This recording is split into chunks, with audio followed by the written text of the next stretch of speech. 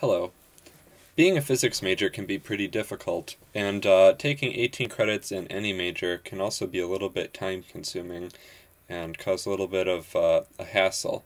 And I've run into people, mainly my physics professor and academic advisor, that say, Alex, you should not be taking 18 credits.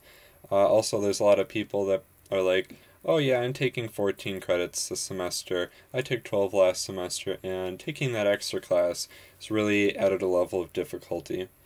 Um, well, since I am taking 18 credits and I'm in a fairly challenging major, I decided to, you know, sit down, do a little math, and um, decide is there really enough hours in each week to take 18 credits of really any major?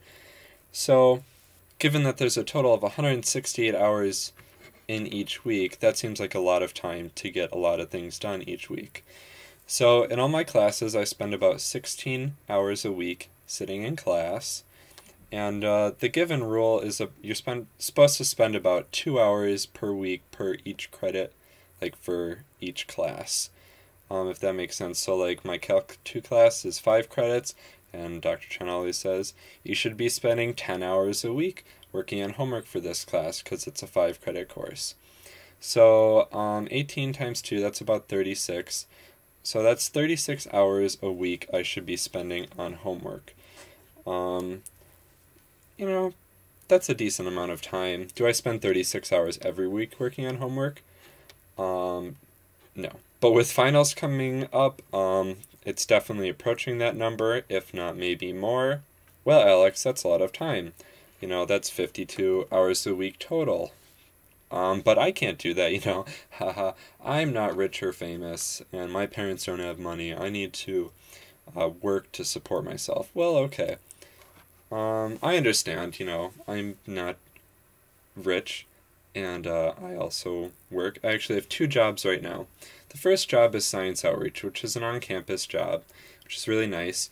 Uh, means I don't have to drive to work, and uh, I can kind of fit it in between classes or in the morning before I have most of my classes. I usually spend two to ten hours a week working for Science Outreach, um, so you know, that's not bad. Uh, but you know, that's a limited income.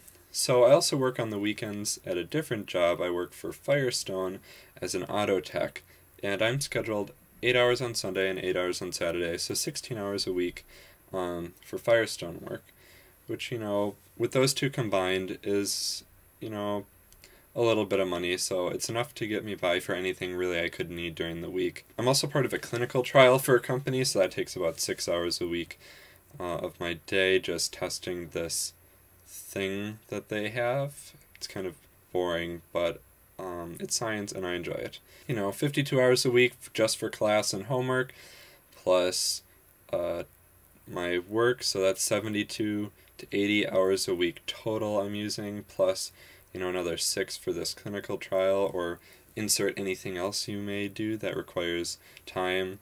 Like I also am part of intramural sports, so depending on which sport, I may, um, you know, have one or a few hours per week doing the sport plus plus practice.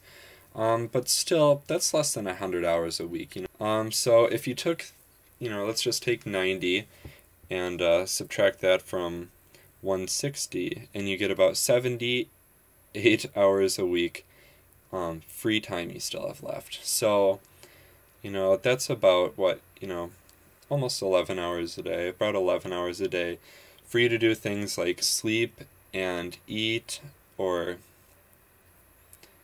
whatever else you may need to do to survive. But still, um, you know, 11 hours a day for free time, that's that's a good amount. Of course, working with, you know, this full of a schedule doesn't leave me any off days to kind of, you know, recuperate and uh, relax. But it's really the best way, I think, to get a lot done in a short amount of time. I think Elon Musk says if you work 100 hour weeks and your competition only works 40 hour weeks, uh, you will accomplish in four months what it takes them a year to do. Great. I mean, if, if, if, if other people are putting in 40 hour work weeks and you're putting in 100 hour work weeks, then even if uh, you're doing the same thing, you know that in, in one year you will achieve what they achieve. You, you will achieve in four months what it takes them a year to achieve. And that's really kind of my motivation for all of this is, you know, if someone else can do it, why can't I? Or why wouldn't I? You know, is it stressful? In a word, very much so. But is also is it rewarding? So far, no. But I know in the future it will be. So um, at least I have that going for me. Will taking 18 credits um, affect your GPA? Um, the answer is maybe if you're a little careless with your schedule, like if you don't keep a really good like calendar or planner or something.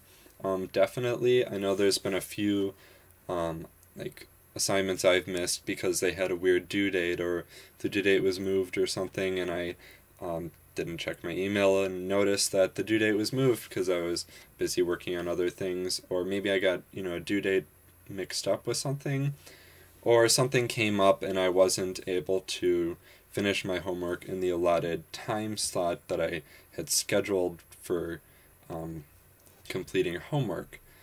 Um, so that can be kind of unfortunate. But I really think the solution to that is taking time out of sleep and maybe trying to catch up on sleep um, some other day or, you know, over break after the semester. You know, this has been something I've done in the past where I'm sure any college student has put something off to the last minute and had to stay up till 4.30 in the morning, you know, writing their English exam or, you know, something along those lines. But really it comes down to taking the time each day that you allot for homework to do nothing but homework. And that's kind of um, what I've been falling short of, I think, sometimes is maybe I'll just sit in a chair and stare at the wall for an hour after a couple hours of lecture instead of working on the homework for that class. And that's an hour I can't get back. You know, there's so many hours I can take out of my sleep schedule without just falling asleep. Or there's so many meals I can miss without, you know, being so hungry that I can no longer concentrate on anything else. And um, so that's something I have to take into consideration is, you know, the constraints of uh, my consciousness being in a, in a human body. I've really yet to come up with a schedule that perfectly meshes um, all my classes and their homework and work and sleeping, but I feel like over break, um, I may be able to reflect on some of my failures and successes of this semester and better plan for next semester, which I am also taking 18 credits. Um, thanks for watching this video. If you have any uh, tips, please comment them below in the section labeled comments. Otherwise, if you were considering taking 18 credits or looking into physics, um, I hope this video has helped you and given you some insight into what a semester might look like. And thanks for watching.